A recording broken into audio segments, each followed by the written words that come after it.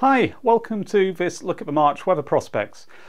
March can be a very, very mixed month because it straddles winter and spring. So we get scenes like this, which is the frozen Grand Union Canal running through Berkhamsted in 2018, but also very spring-like scenes such as this one. Now, to put a little bit of context on how it compares to December, January and February, I thought I'd show some statistics from my weather station here in the Chilterns, which is about 25 miles northwest of central London. What we can see is uh, March 2020, the mean temperature was 6.6 Celsius, which compared to 6.6 in February, so it was identical, 6.4 in January, and 6.1 in December. So not a great deal between the four months in that particular year. The previous one, 2019, we can see March was 8.3 Celsius, so it was actually milder than February at 7.0, January at 3.9, and December at 7.1.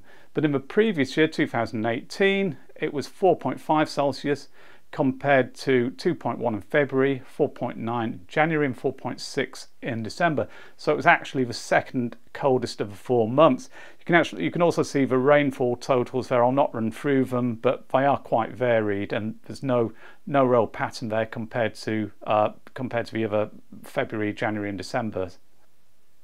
So which is it to be this year? Well, I'll start by taking a look at the short-term picture and to do that we'll run the North Atlantic and European sequence.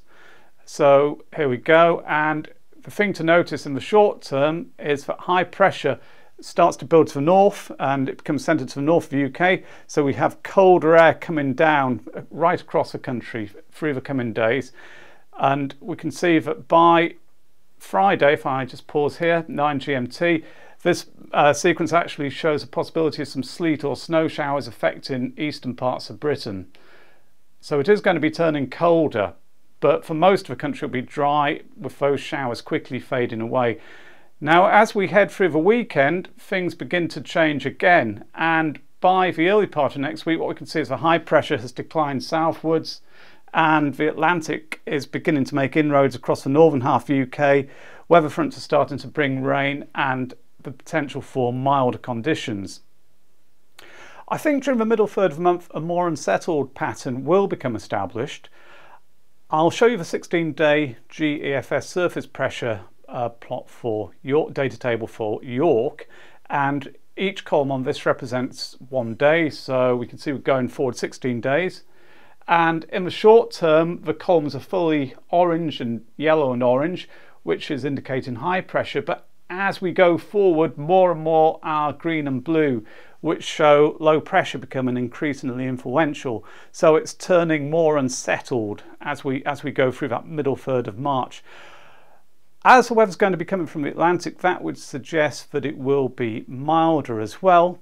But if I just show you this chart from the ECM model, it's valid for uh, Friday the 12th of March, what we can see is that although the weather is indeed coming in from the Atlantic, there's more of a sort of north northwesterly influence across the UK. So, so it could actually be quite chilly through this period and cold enough, if this is correct, for sleet or snow in the northern half of the UK at times, especially over high ground.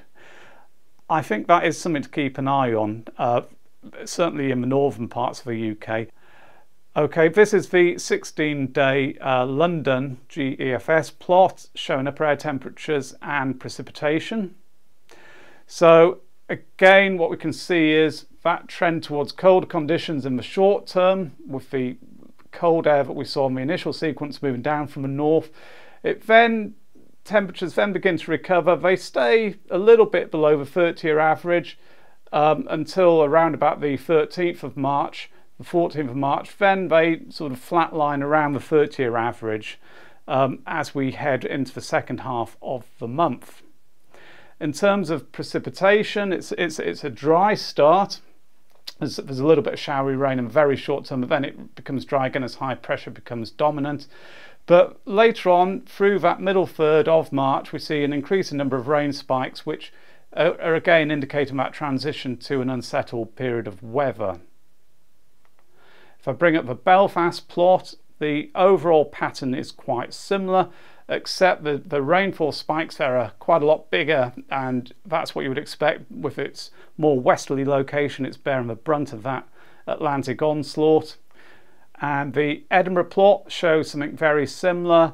Um, we see the rainfall spikes there appearing during the middle third of the month, possibly not quite as wet as Belfast, but a bit wetter than London. So, so all in all, it's, it, it's, it's a fairly consistent picture across the UK with that transition to more unsettled weather and uh, across all, uh, during the middle third of the month.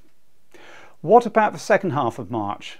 Well, here's the 850 HPA temperature anomaly chart for week beginning Monday 15th of March. So this is averaging, averaging out the forecast 850 HPA temperatures across the week in, in its entirety. So, so it could be masking colder and milder days, but the general picture here is showing essentially a, a, a, small positive anomaly across the UK. The, the pinks there indicating that upper air temperatures are forecast to be a little bit above the 30 year average in most of the UK during this week taken as a whole if I just jump forward to the week beginning the 22nd of March, so the last full week of the month, it's again, it's a similar picture. The anomaly there is, if anything, it's positive, pinks and reds maybe, just in, in the north of U, northeast of the UK, but, but there isn't a big deviation from the 30-year average. So you wouldn't expect this to result in a very mild picture across the UK. You'd expect temperatures down at the ground level to be fairly close to the seasonal average, perhaps a little bit above in the south and um, and nearer to the normal in, in the northwest.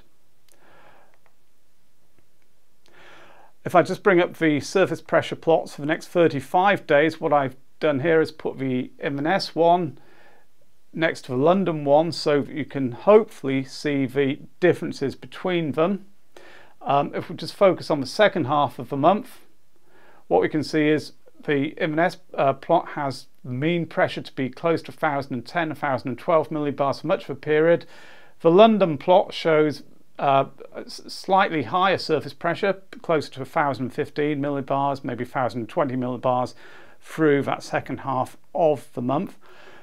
What those two charts suggest when taken in tandem is that high pressure is more likely to be centred to the south of the UK than it is to the north. In turn, that is indicating the likelihood of an Atlantic flow across the UK, but with drier conditions being more likely in the southern half of the UK than in the north because they, they, that's where the high pressure is going to be closer to.